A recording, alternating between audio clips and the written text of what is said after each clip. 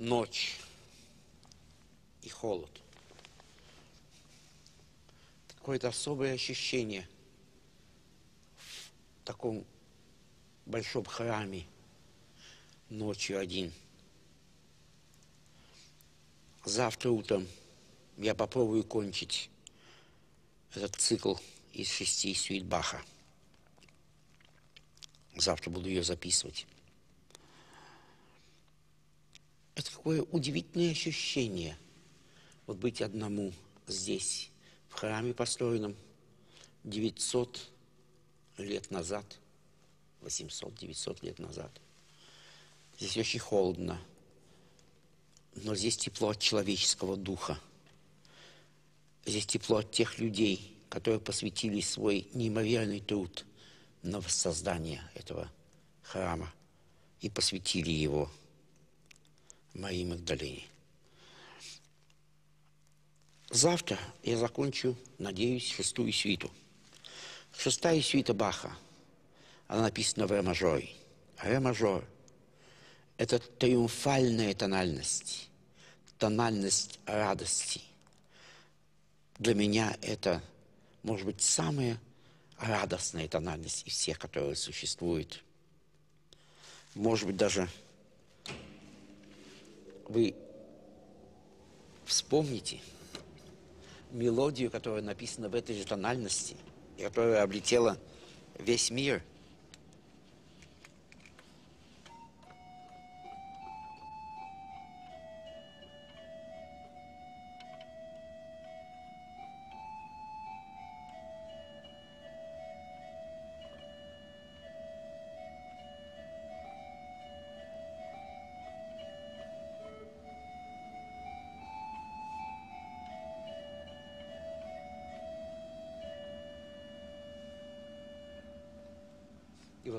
в этой тональности победы, тональности радости, тональности человеческой дружбы, любви, объединения написана шестая свита, последняя свита, написанная Бахом для виолончели соло.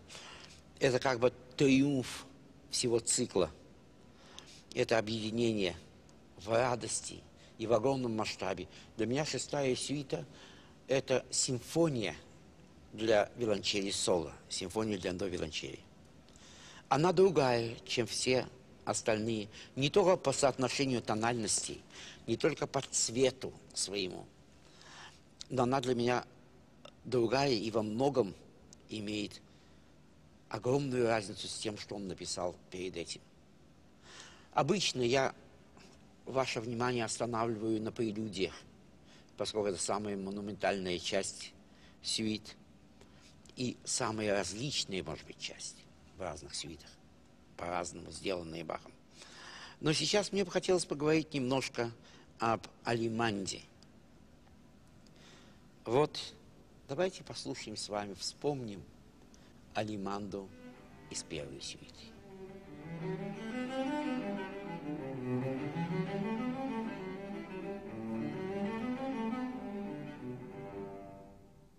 Или Алиманду из второй свиты –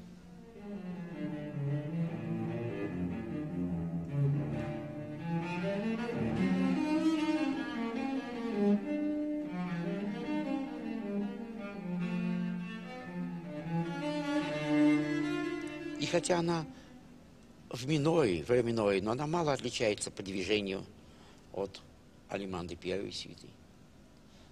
И в конечном счете даже по характеру от Алиманды до мажорной. Следующий, третий свит. Послушаем немножко ее, вспомним.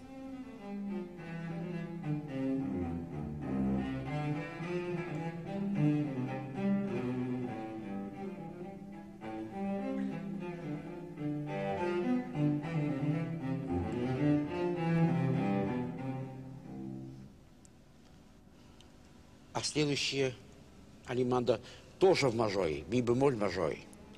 Это совсем другая краска. Художник подобрал бы соответствующий для нее, может быть, синеватый, голуб, голубовато-синеватый нюанс. Послушаем эту алиманду из четвертой свиты.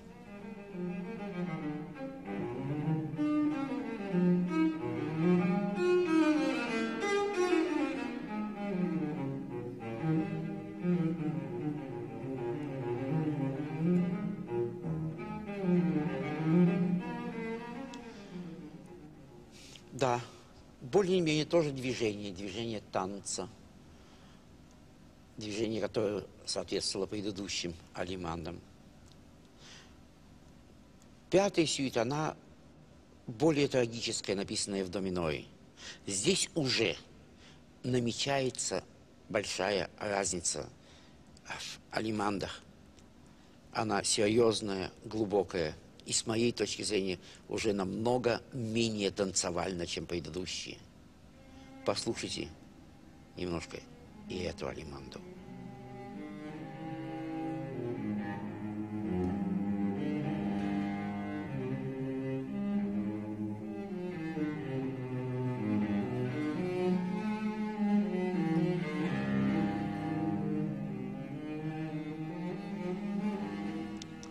Вот. А теперь мы приходим к шестой сюите, к ее алиманде. Если уже пятая сюита, как вы заметили, алиманда пятой сюиты так сильно отличается от других, большей глубиной, я бы сказал, большей, большим драматизмом и более отошедшей музыкой от ритма танца. А вот теперь послушайте это просто огромный сюрприз. То, что вдруг появляется в шестой свите.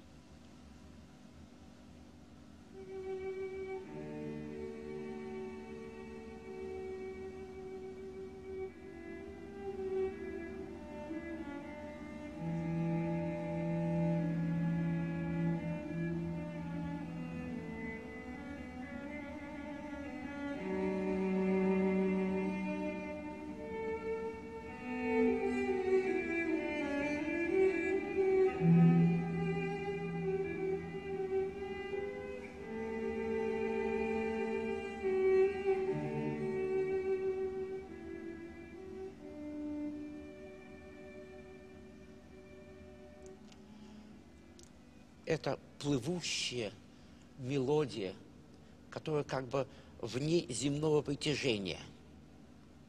Она находится, она блуждает, блуждающая мелодия.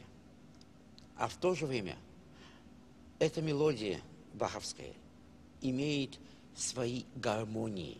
Гармонии, которые берутся в какие-то определенные моменты этой мелодии. Поскольку виолончель – инструмент одноголосный, то мы берем аккорд, который потом исчезает, и существует одна мелодическая линия. Потом появляется другая гармония. А мелодия продолжает виться и существовать. Потом эта гармония меняется на третью. Каждая гармония имеет свои тяготения. Пожалуй, только гармония основной тональности.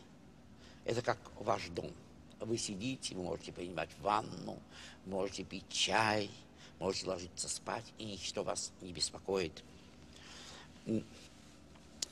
Но нужно менять эту гармонию, нужно уходить из дома, нужно путешествовать.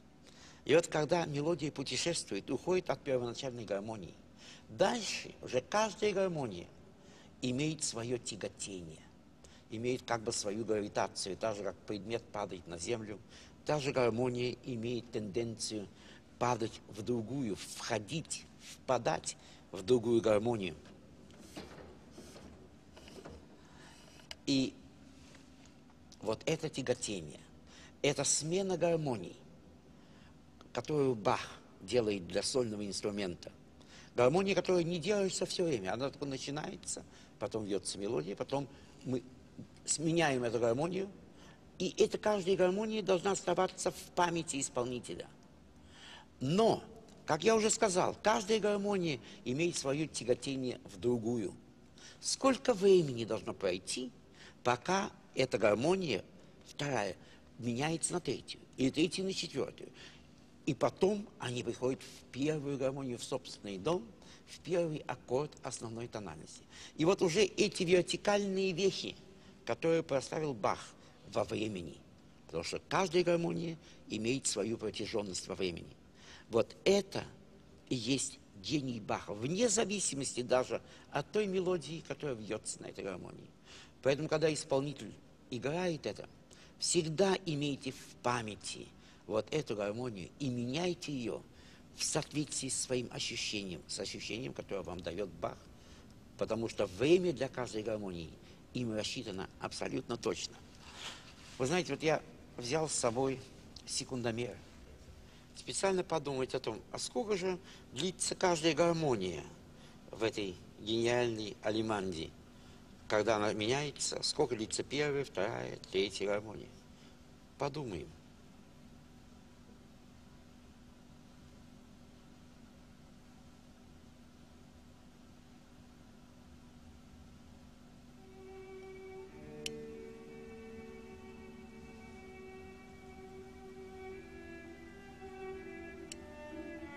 Меняется. 9 секунд. 7 секунд.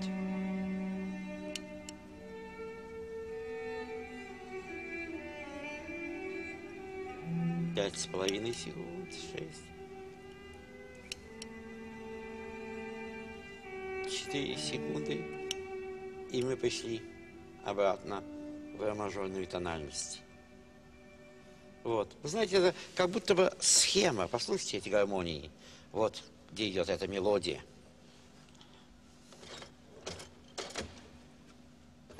Начинается с ре-мажорной гармонии, как будто дома. Ре-мажорную гармонию мы можем держать столько, сколько мы хотим.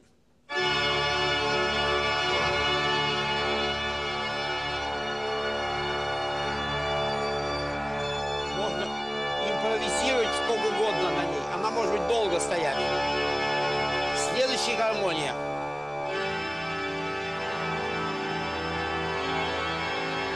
Она не может быть долго. Она тянется в следующую.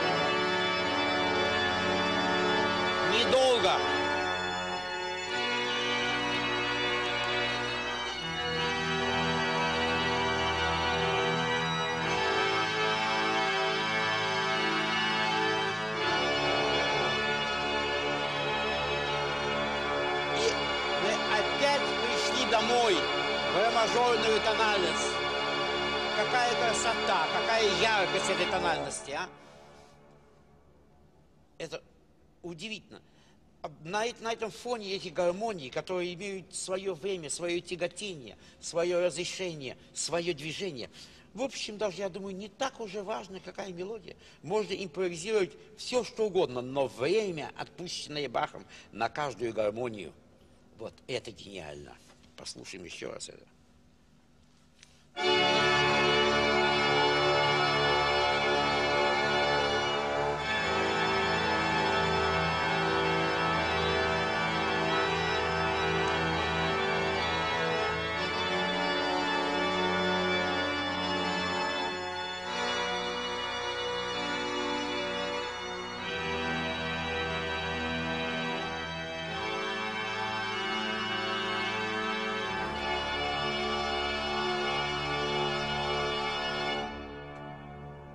Просто, как величественно, как удивительно, как гениально это сделано.